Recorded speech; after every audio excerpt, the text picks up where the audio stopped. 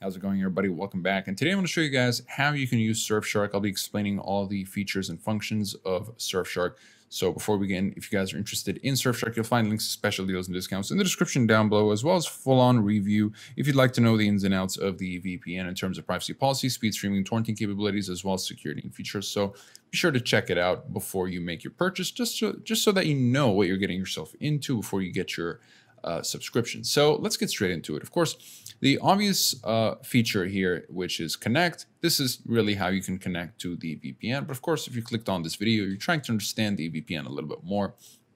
So let's disconnect real quick and uh, really explore what this VPN is about. So first of all, you've got this little button here, which most people, I mean, admittedly, I missed it the first few times I used Surfshark, but when, when I clicked it, I realized how useful it is, especially if you're looking for the lowest ping uh, for your uh, gaming sessions. So this is a very useful feature here, which just gives you a bit of an aggregate, may not be, this, it will not represent your in-game ping, uh, I guarantee you, in the game, in in the in-game ping, you will your ping will be a little bit lower, but uh, yeah, this will give you an aggregate of what the best um, uh, server could be for uh, ping. So, for example, in my case here, it seems like Paris seems to be like a good option for me, as well as Berlin.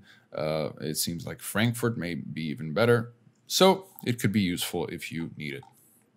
Next up is static IP. Static IP are a bunch of servers that use the same, the very same IP every time you return to them.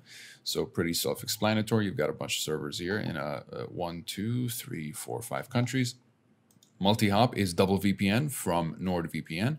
If um, you're not familiar with it, what double VPN does is that it routes your connection through two servers and two IP addresses rather than just one for extra security, just double the security really. It's as simple as that. For features, you've got Clean Web, which will block ads, trackers, and malware. There's nothing, you've got nothing to lose by keeping this one on at all times. And then you've got uh, Whitelister, which will help you bypass or uh, route certain applications through the VPN. So you can select, let's say, let's say I want my entire connection to be uh, left alone while only these two selected applications are routed through the VPN. So, uh, for example, if I want my torrenting client to be routed through the VPN, such as you can see it's already uh, selected here, qBittorrent, I only want my um, torrenting client to use the VPN so that uh, it's secured and uh, protecting whatever uh, information I'm downloading there. I can do that while my entire connection is left intact without being touched by the VPN. You can also use uh, this feature here, but uh, yeah, you can use, let's say, uh, certain IP addresses or websites to bypass the VPN. So, for example, you can put in YouTube here and it won't be affected by the VPN, or you can just uh, select route through the route via the VPN and just select the entire browser here with Chrome, for example. But uh, yeah, can be very useful. And uh, let's just go back and actually just gonna go ahead and turn that off, turn it on, um, turn it off. There we go.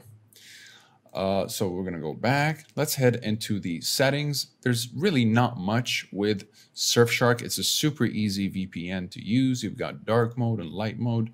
Definitely don't want light mode, so I'm not going to restart it. So connectivity here, you've got the kill switch, which will disable your internet when your VPN disconnects unexpectedly, which can be very useful, especially if you're in censorship heavy countries and you don't want any leaks happening. So definitely something to consider. As it says here, kill switch keeps you safe by only allowing internet access while Surfshark is connected. So yeah, it can be useful if you're interested in something like that. Auto connect is very self-explanatory. So uh, you can uh, have your VPN auto connect, let's say when you first launch, and you can select which server to connect it to.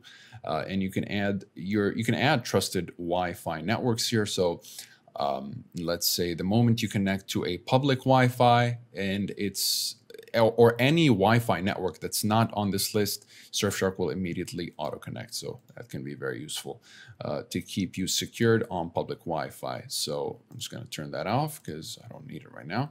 And you've got advanced. In advanced, you've got a handful of protocols, uh, one, two, three, four, five.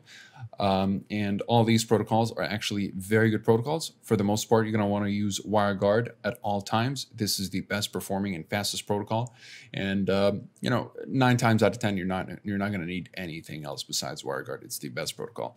But if you're in a censorship heavy country, let's say you're having trouble accessing certain websites because there's a censorship firewall, such as in China with the Great Firewall of China, Shadowsocks will help you do that. But keep in mind that it will only secure your browser traffic.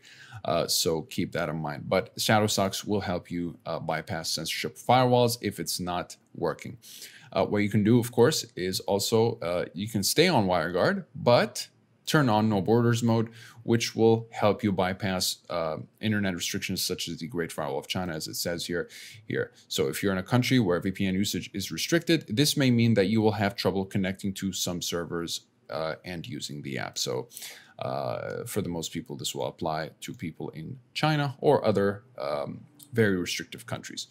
Uh, you've got a speed test to give you sort of an idea of uh, you know the download speed, upload speed, as well as uh, latency or ping.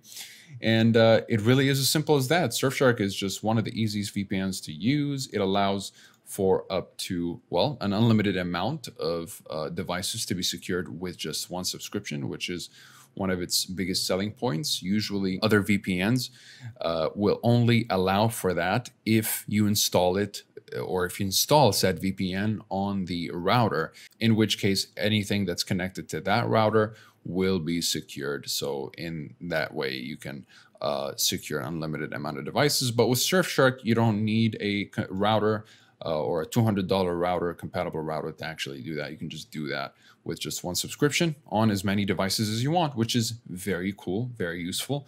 Uh, you've got over 3,200 servers in 65 countries, so plenty of room to hop back and forth between many servers.